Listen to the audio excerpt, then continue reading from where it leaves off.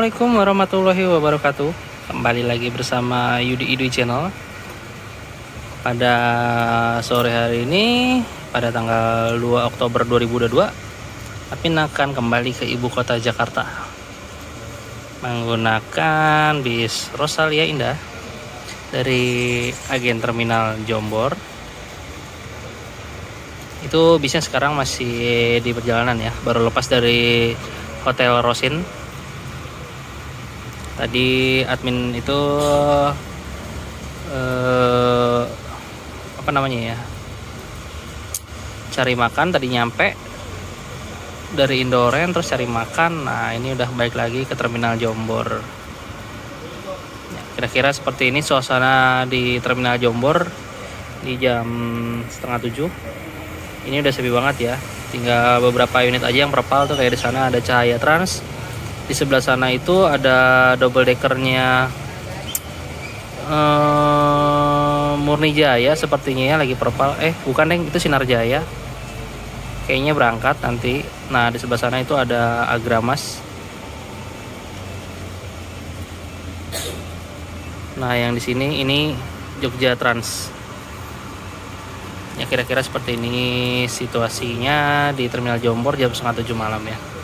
Ini bisnya belum sampai Oke, kita tunggu dulu untuk e, bisnya datang. Nanti kita lihat review kalau misalnya sempat ya.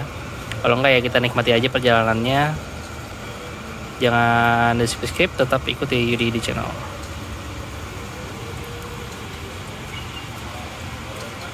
Ah, yang ternyata di sebelah cahaya trans itu di sebelah sana itu uh, double deckernya Munijaya. Jadi dia angkatan pagi yang dari barat, yang dari Perpal. Besok pagi berangkat lagi. Yang Sinarjaya tadi udah berangkat lebih sore ya ya itu aja mau sedikit uh, ralat aja. Oke kita lanjut lagi.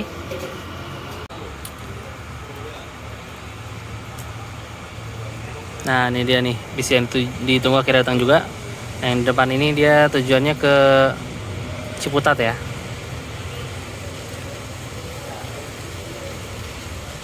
Menyusul di belakangnya itu ada bis lain nah ini dia bis kita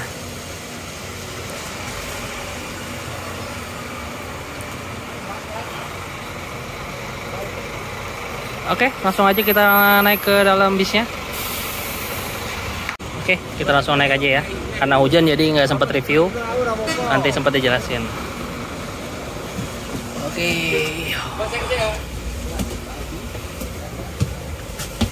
Langsung ke bagian atas.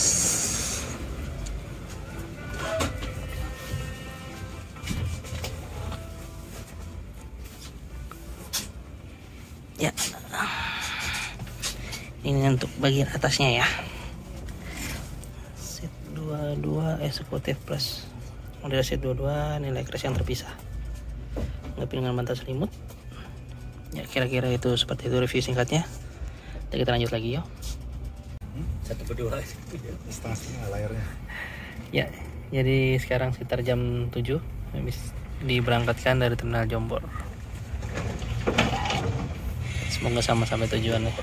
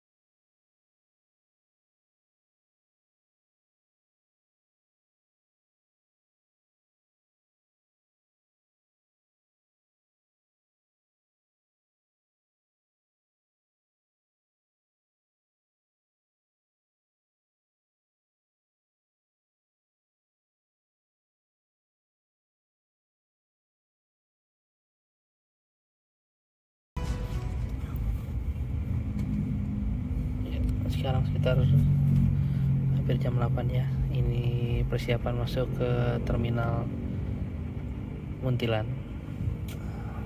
Untuk ambil beberapa penumpang. Sebenarnya gelap banget. Udah sepi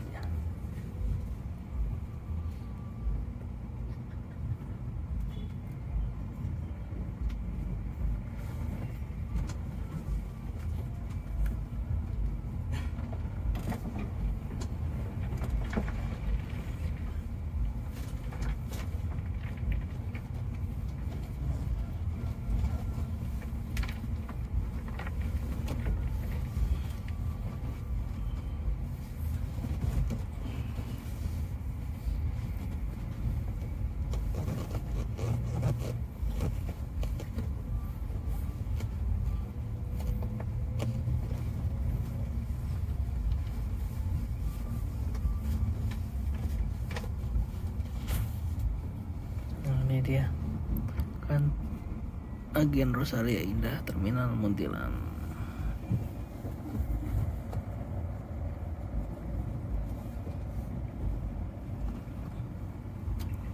Ya sekarang kita lanjut lagi perjalanannya. Ini hanya ada satu penumpang aja yang naik dari sini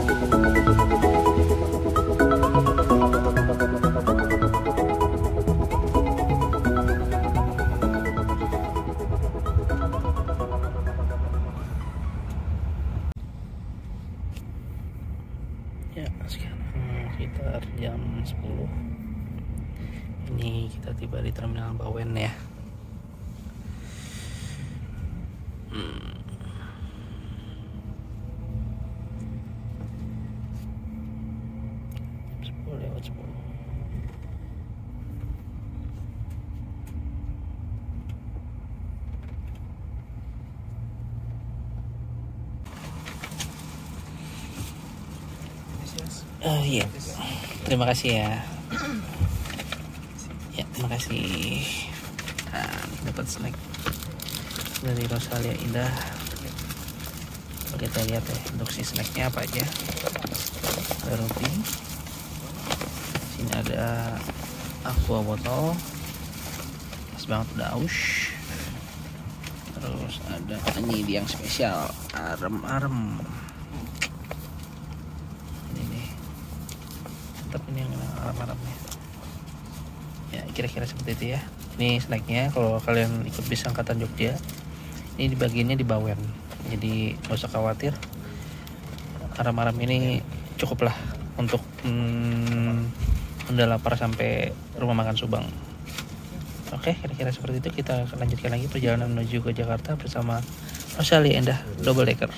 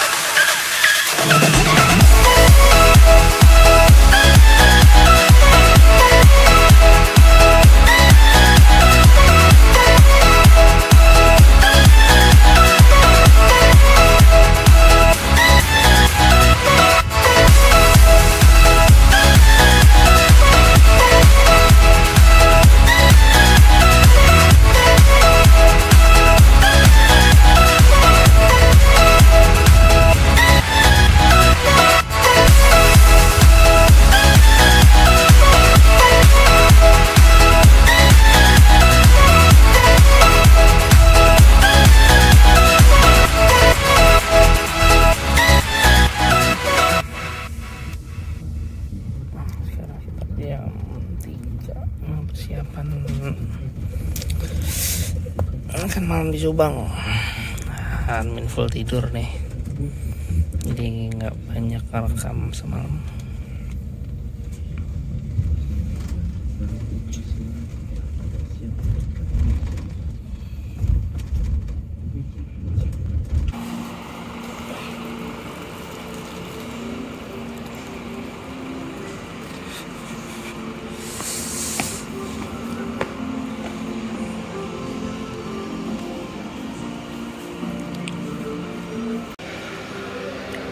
jadi kira-kira seperti ini suasana di rumah makan Rosalia Indah pada pagi hari ya. Eh, dini hari.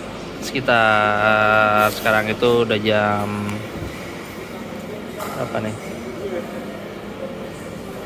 Jam 3 lewat 1. Sepanjang tol perjalanan tadi admin tidur beberapa kali momen aja. Ada di bis? Di bis? Enggak, ada di bis. Ada ada di Nggak bawa. Ya.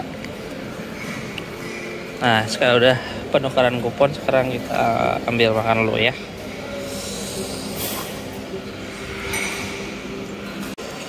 Ya, jadi untuk servis makannya uh, Rosalinda tujuan Jakarta dari Jogja itu seperti ini ya. Ini menunya itu soto, ayam, nasi dan juga teh hangat.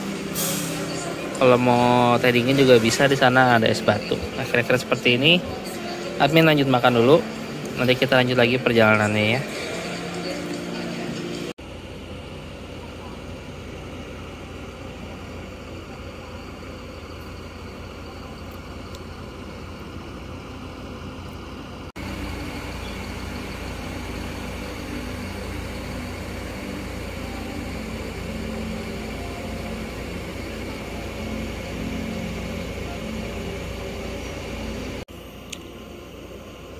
Ya, ini sekarang admin udah selesai makan. eh apa ya namanya ya? Dari awal berangkat sampai sekarang tiba di rumah makan tuh belum sempat review ya, untuk di sini. Dari dulu emang udah kepengen banget naik ya, Rosalia Indah Jogja ini. Cuma untuk dapat seat depan itu paling nggak kita harus booking itu sebu awal bulan sebelum sebulan sebelum kita ke berang- eh, berangkat. Karena apa ya? Tingginya eh, ini eh, antusias penumpang di jalur Jogja Ciputat ini tinggi banget ya. Jadi admin tuh harusnya tripnya itu di pertengahan September, tapi admin cek itu dari awal bulan udah udah penuh untuk dek bawahnya maupun dek atasnya. Lalu admin cek di awal bulan, nah itu dek bawahnya udah full seat, tinggal dek atas. Oh, nggak pakai lama langsung aja admin ambil dek atasnya 4 seat. Tadinya tuh pengennya di bawah. Dua. Tapi ternyata udah penuh jadi kita ambil yang di atasnya. Nah yang membedakan itu yang di atas dia eksekutif plus kelasnya. Seatnya dua-dua. Sudah dilengkapi juga dengan leg rest yang mulai terpisah lalu di bawahnya itu ada super top. Uh, seatnya 21 cuma uh, lebih lebar seatnya. Dan sudah dilengkapi juga dengan leg rest yang sama yang mulai terpisah lalu juga ada kelas ada first class itu ada dua di bagian kanan kiri. Itu modelnya sleeper ada bantal selimut guling. Dan juga uh, servis makannya itu kita nanti dikasih banyak opsi pilihan makan. Nah bis ini menggunakan model Jetbus 3 SDD buatan Adi Putro di topang sasis Scania K410 entah kenapa ya uh, kalau pakai karoseri Adi Putro ini dia lebih nyaman aja gitu. Lebih rada senyap lah. Bukan membandingkan tapi kemarin admin nyoba Indoren itu menggunakan sasis Volvo yang sama dengan waktu admin naik Gunung Harta. Cuma yang Gunung Harta itu dia budinya di Putro itu lebih senyap sedangkan kemarin itu apa ya rada-rada gemlodok gitulah. Dan suspensinya itu agak lebih keras. Nggak tahu kenapa itu bisa berbeda seperti itu ya. Padahal sama loh sasisnya harusnya sih sama. Ya kira-kira seperti itu aja ya. Oh iya untuk harga tiketnya itu di dek atas tuh di harga 295.000 yang bawah itu admin kurang tahu. Kurang nggak begitu update. Sekarang itu udah jam sekitar jam 3 lewat. Nah ini semoga aja nggak telat ya karena admin juga ngejar jam kantor. Ya kira-kira seperti itu ya. Sekarang kita lanjut lagi. Untuk coba lihat interior di bagian dalamnya.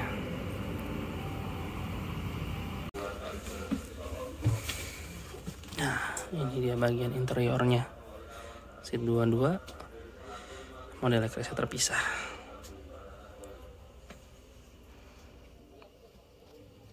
sini adalah ada telepon yang bisa dihubungkan ke pramugara atau pramugari di depan.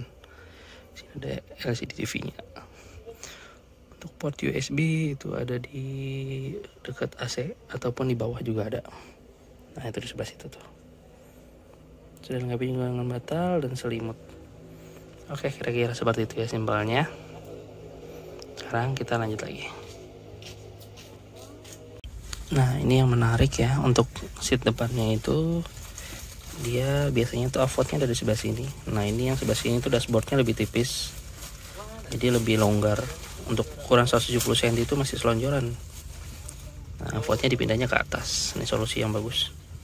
Jadi admin tuh temennya dua tuh yang tingginya 170 itu dia pas kakinya nggak bentok. Selonjoran nah ini sudah lengkap juga dengan bantal dan selimut. Nah ini posisi avotnya di atas. Jadi viewnya tuh pas banget. Cakep. Ya, kira-kira seperti itu. Jadi kalau misalnya kalian mau dapetin hot seat ini paling enggak sebulan sebelum keberangkatan tuh kalian udah harus beli tiketnya. Oke sekarang kita lanjut lagi perjalanan bersama Rosalia Indah menuju ke Jakarta ya diberangkatkan lagi menuju ibu kota Jakarta ya.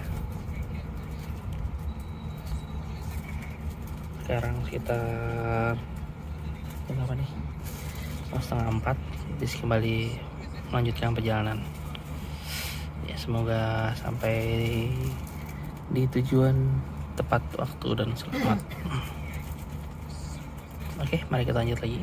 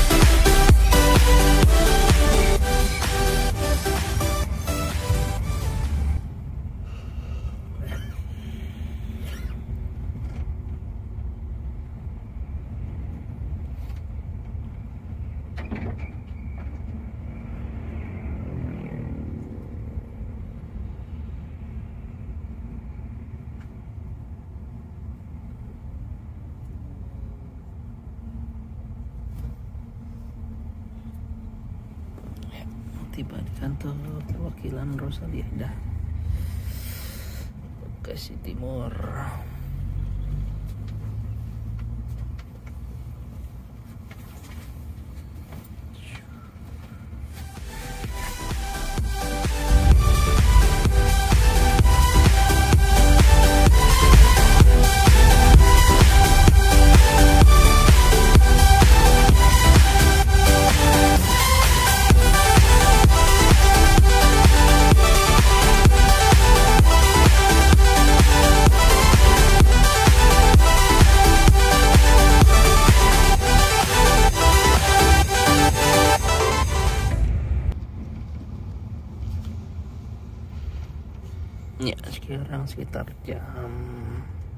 setengah enam tiba di terminal Pulau Gebang Jakarta Timur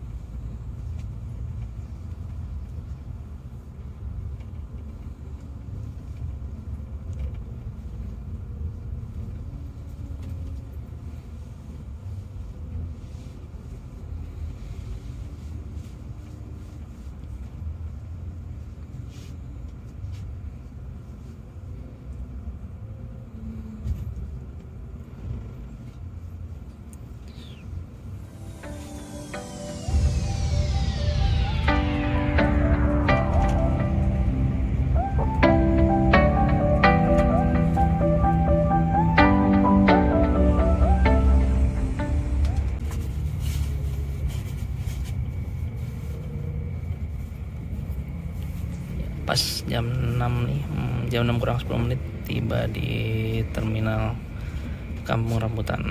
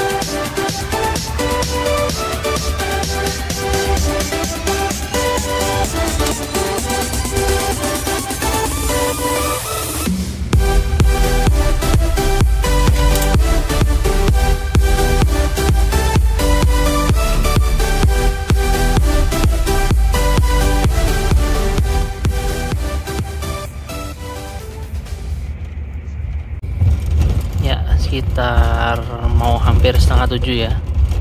Ini admin akan tiba di terminal eh, apa sampai di Lebak Bulus Jakarta Selatan. Tadi sempat ada macet sebentar tapi alhamdulillah ini udah lancar lagi. Ya admin mau ucapin terima kasih kepada Allah Subhanahu Wa Taala. Terima kasih juga kepada rekan-rekan seperjalanan Mas Zai, Mas Anton dan Om Mawan. Sampai ketemu lagi di liputan perjalanan selanjutnya. Apabila liputan kali ini ada yang kurang mohon maaf. Sampai ketemu lagi di liputan perjalanan selanjutnya. Jangan lupa di like, komen, dan di subscribe apabila liputan perjalanan kali ini bermanfaat. Sampai ketemu lagi wassalamualaikum warahmatullahi wabarakatuh